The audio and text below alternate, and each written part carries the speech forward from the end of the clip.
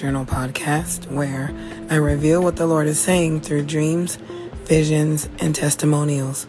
Today's topic Finding Grace.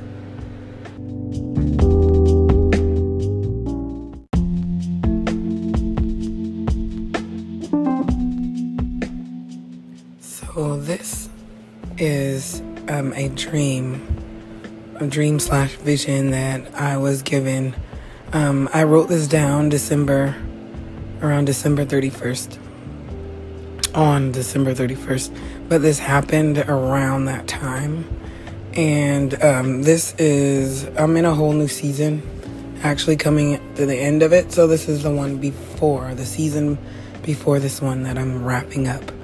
And so, um, yeah, I've been really, really busy, extremely busy um, with the season that I'm in now. And it's coming to a close, so I have a little bit of time to upload. But at the time, um, I just absolutely had no time to do anything. You know, when you're starting a season, you're hitting the ground running, and there is just it, this time it was a bit chaotic and it was a lot going on. Um, so let me um, get into the dream and I'll just um, kind of break down um, uh, everything that um, that I want to share about it and what the Lord is asking me to divulge. So uh, I said last night at a dream I was in a town. Um, I was just uh, in in this random town um, and just going out and about. I was, I remember I was just shopping or window shopping, looking and just running errands on foot. Um, I think there was like a light rail. I got on there, got on. I mean, I was just doing in this vicinity of this town. I was just doing everyday um, tasks and errands. And so um, I was ready to go home. And so I I noticed that let's see that there was uh, someone following me every step of the way. There was someone following me. Um, and they were just like super on point with the following. Like I couldn't see who they were. Their windows were tinted. and I got to a point where I was about to leave indefinitely. I was about to get on this.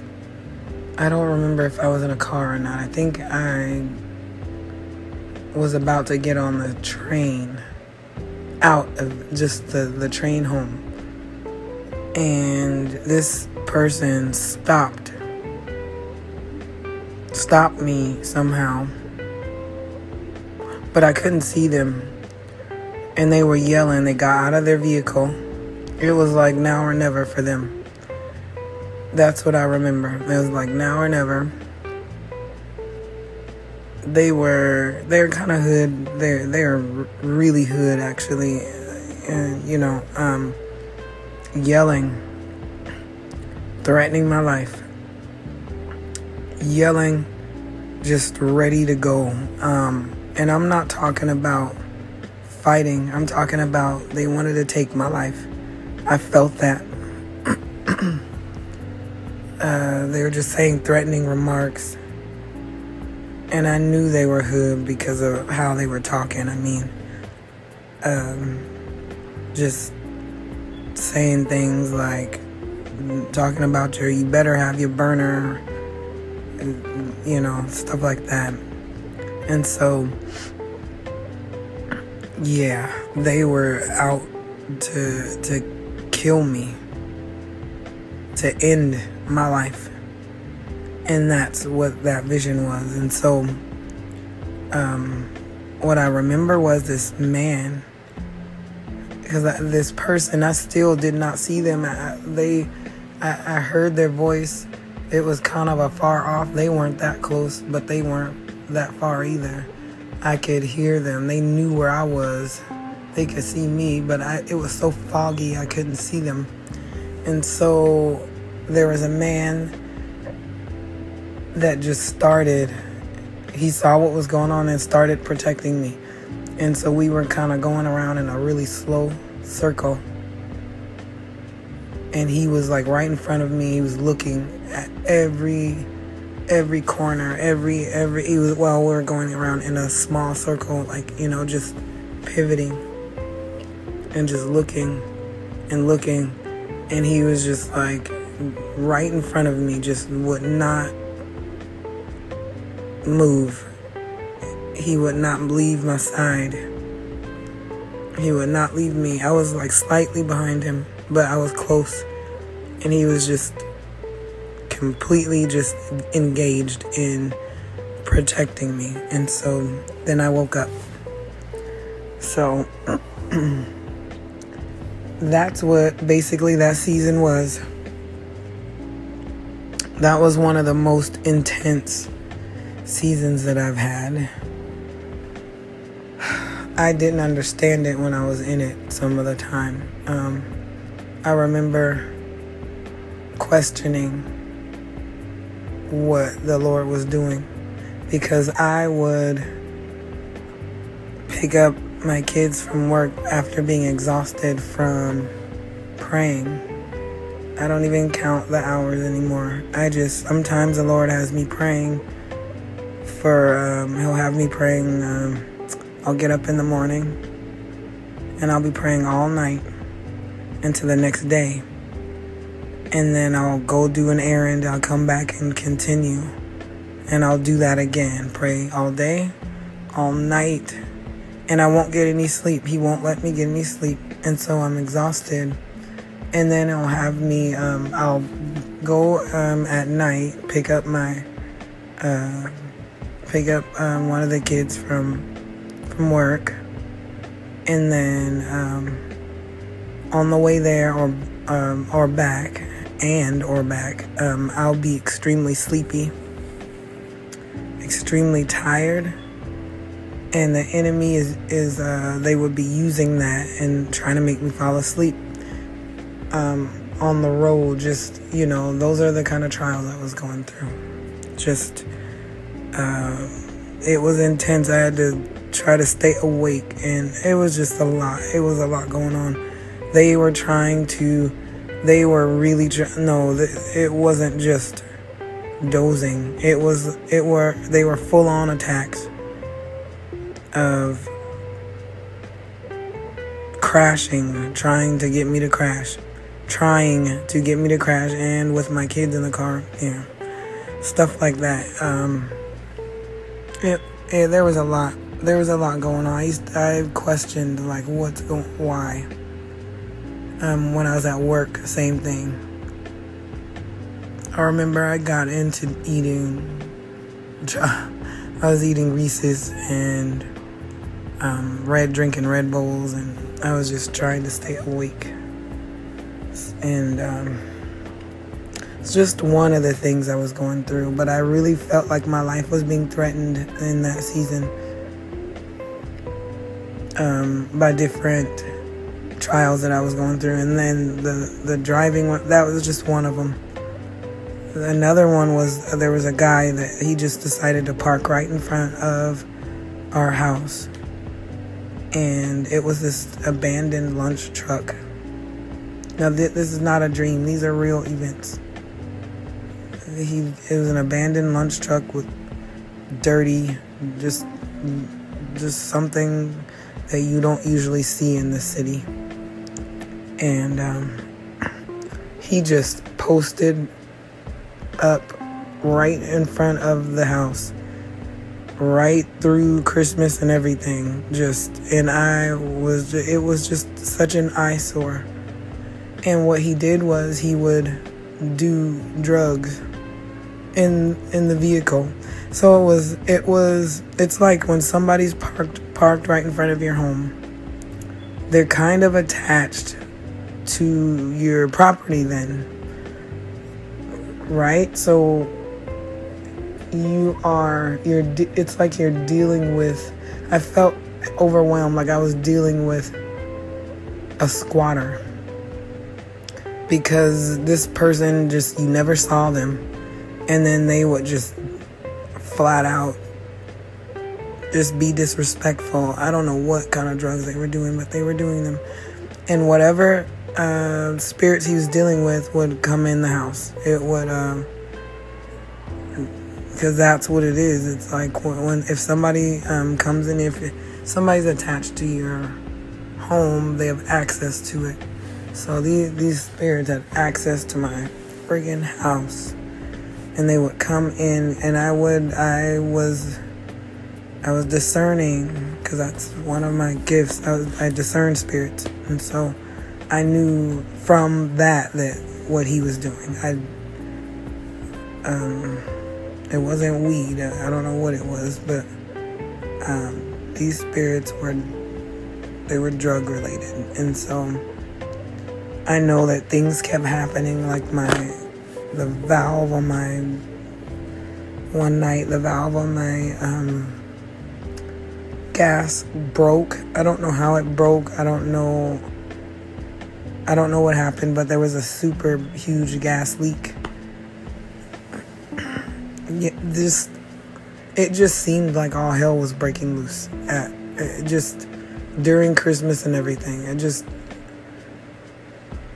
those were just some of the things that I was going through. They were just some of the things.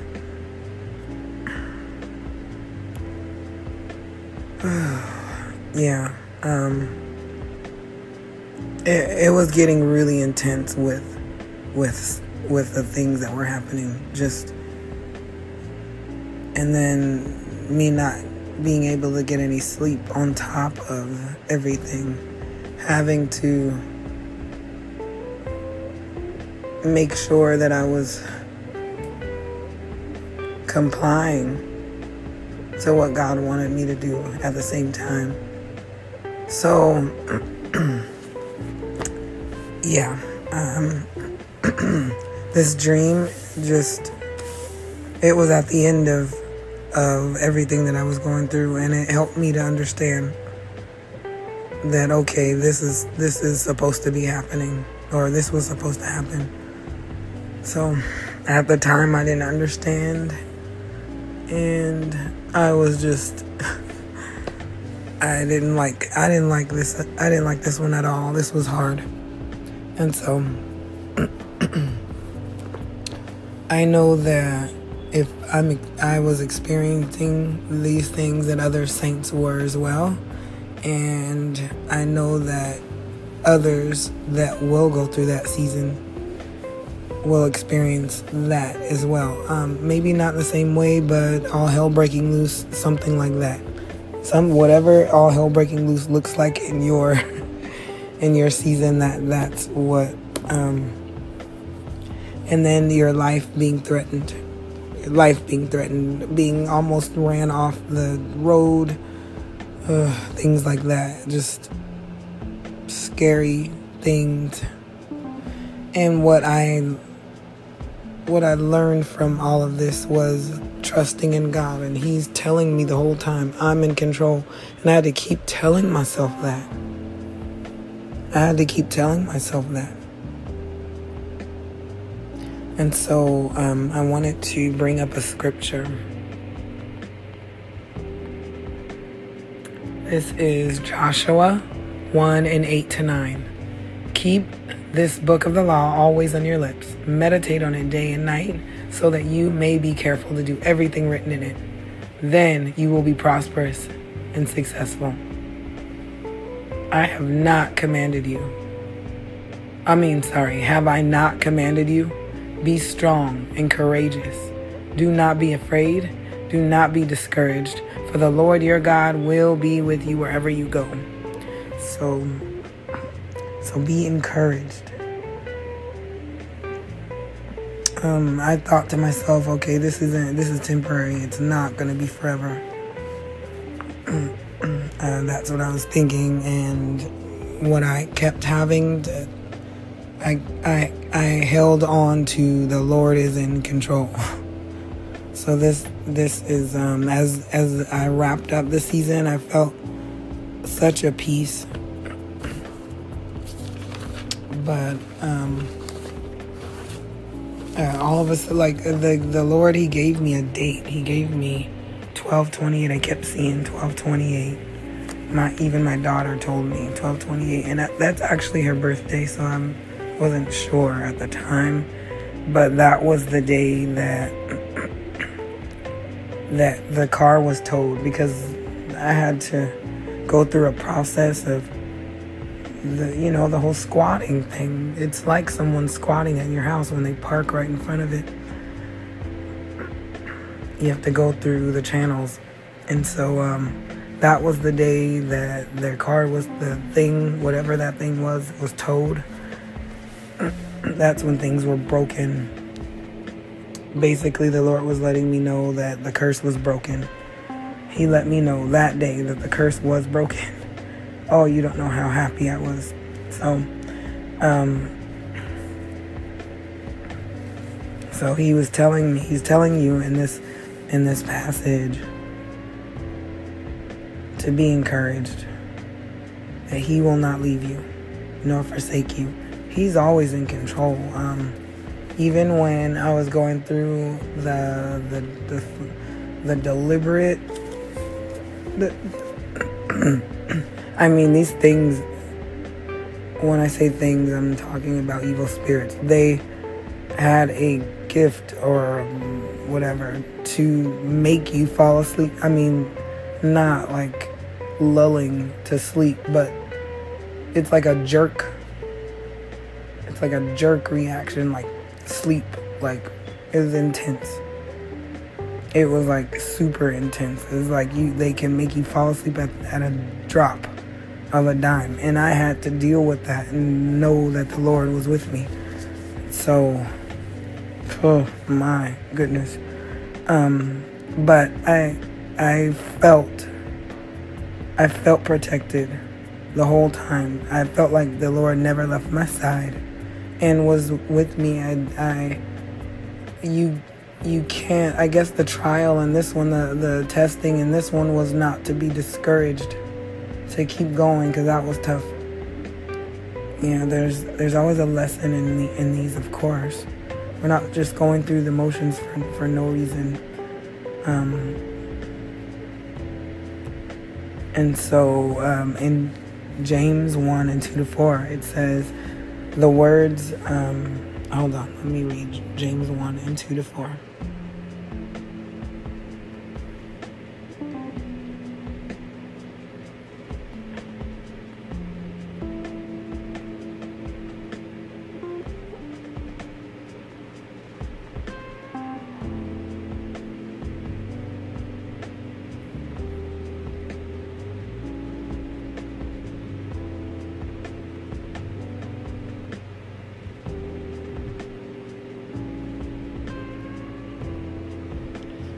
Consider it pure joy, my brothers and sisters, whenever you face trials of many kinds, because you know that the testing of your faith produces perseverance.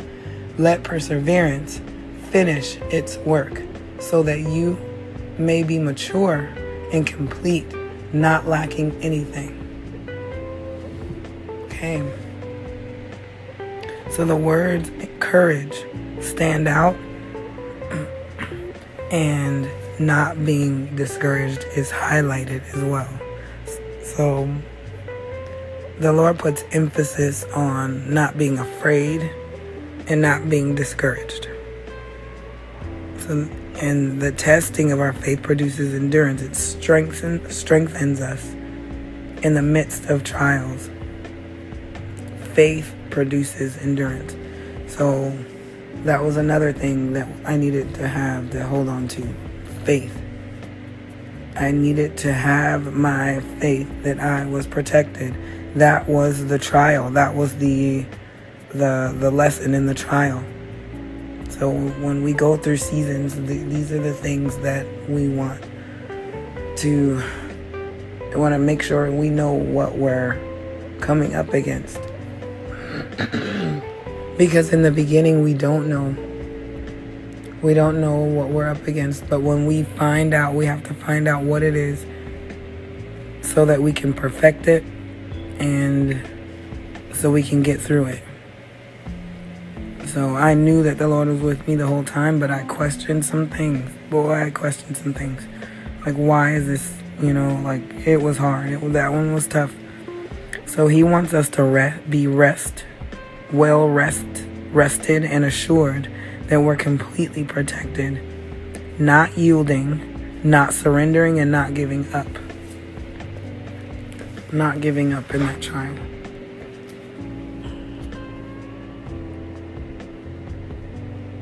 And so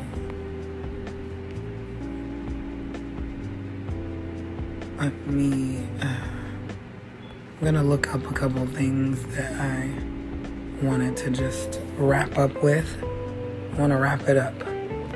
Um, yeah, said don't give up. So he doesn't want us to walk away. He doesn't want us to, to throw in the towel.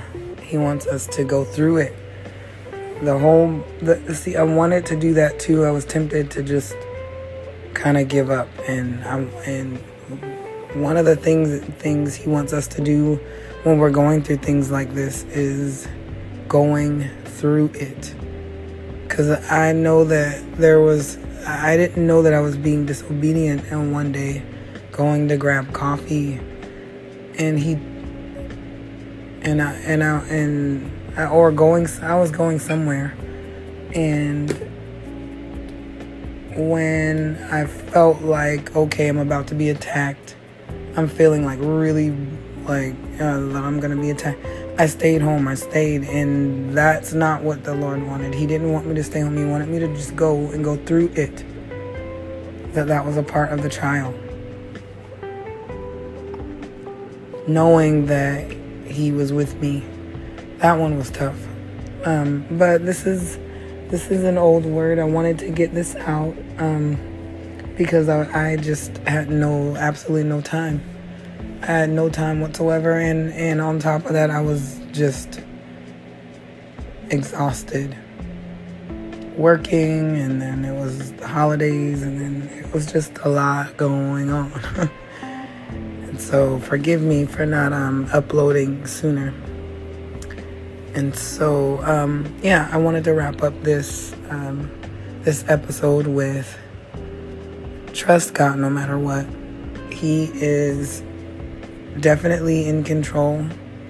He wants us to be confident in Him at all times. So, no matter what testing or trial you're going through, you don't have to worry. You don't have to worry about um, getting hurt or being, you know, that you're, he's not going to let you go. And he's pushing limits to see. He's pushing limits, pushing buttons and pushing limits.